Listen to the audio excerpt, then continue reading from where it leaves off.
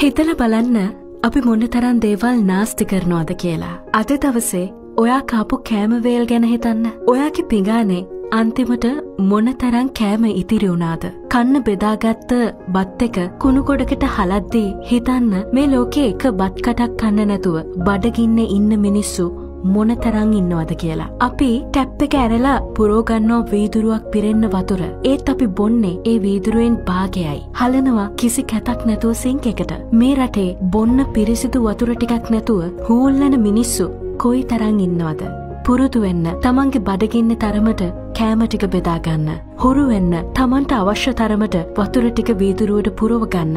මහලොකුවට අපි system change ගැන කතා කරලා වැඩක් නැහැ. බුලත් විටේ කාලා කෙලපාර ගහන්නේ හැමෝම යනේන පාරටනම්. රටතියා ඔබ වැඩ කරන ආයතනයවත් දියුණු කරන්න බැහැ උදේ අටට වැඩට එන්න ඕන පුද්ගලයා වැඩට එන්නේ දහයටනම්. අපි මේ නාස්තියෙන් නවත්තන්න ඕනේ. ඔබේ ආයතනයේ ඔබේ ගෙදර හෝ යම් තැනක ඔබ දකිනවනං අනවශ්‍ය විදුලි බල්පයක් දැල්විලා තියෙනවා දැම්මෙ කවුද කියන එක අදාළ නැහැ. ඔබ ඒක නිවල දාන්න. හැමදේම කරන්නේ සල්ලි හම්බ කරන්න. හැබැයි අතට ගන්න සල්ලි කොලේ දෙකට තුනට නවලා පොඩි කරලා පාවිච්චි කරන්න එපා. ඒ සල්ලි පිරිසිදුවට දිග ඇරලා තියාගන්න.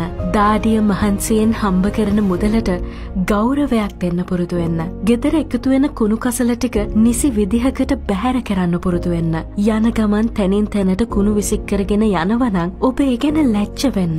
අපිට ඉන්න තැනක් තියෙනවනං යන්න එන්න වාහනයක් තියෙනවනං කන්න බොන්න කෑමබීම තියෙනවනං අපිට අපි ගැන සතුටු වෙන්න පුළුවන්. හැබැයි අපිට පුළුවන්නං අපි අතින් සිද්ධ වෙන නාස්තීන් අවම කරගෙන නැති බැරි කෙනෙක්ගේ එක අවශ්‍යතාවයක් හැරි සම්පූර්ණ කරන්න අපිට ඊටත් වඩා සතුරු වෙන්න පුළුවන්. මේ රටේ ඉන්නවා පොතේ තියෙන හිස්පිටුව කඩලා රොකට් හදල විනෝද වෙන ළමයි. ඒ වගේම මේ රටේ ඉන්නවා තමන්ගේ පොතේ හිස්පිටු ඉවර වෙද්දි. ආයමත් අලුතෙන් පොතක් ගන්න කොහොමද කියලා හිත හිත දුක් වෙන ළමයි. පොදු ප්‍රවාහන සේවා දියුණු කරන්න කියලා කෑගහලා ඉල්ලන අපිම තමයි යන එන බස් එකේ ෂීට් එක හෙමිහෙමීට ඉරන්නේ. අතට පෑනක් අහුවන ගමන් පුංචි කාලේ මතක් වුණා වගේ දකින දකින තැන බලිකුරුටු අඳින්නේ ඇයි? රටේ ළමයින්ගේ අනාගතය හදන්න දඟලන ටියුෂන් ගුරුවරු යස අපූරුවට තේන්ත ගාලා තියෙන බිත්ති පුරා පාප් අප්ප ගාල පෝස්ට අලවල මොකක්ද මේ කරන්නේ. රාජ්‍ය හෝ වේවා පෞද්ගලික හෝ වේවා තමන්ගේ රැකියාව හරියට කරන්න. මම එක ලස්සන කතාවක් කියන්න.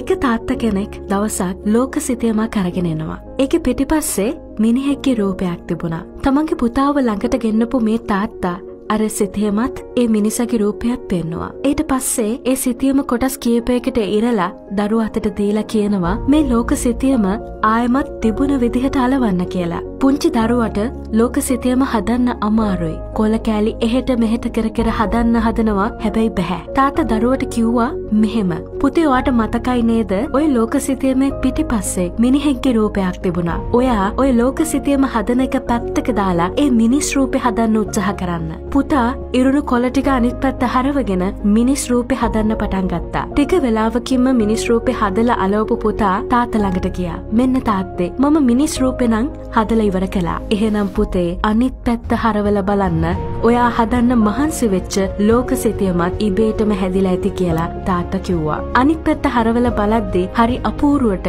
තමන් හදන්න හදපු ලෝක සිතියම නිර්මාණය වෙලා තිබුණා. ඉතින් ඒ තාත්තා තමන්ගේ පුතාට මෙහෙම උපදෙසක් දෙනවා. පුතේ ලෝකෙ හදන්න අමාරුයි හැබැයි මිනිස්සු හැදුනොත් ලෝකෙ ඉබේටම හැදෙනවා.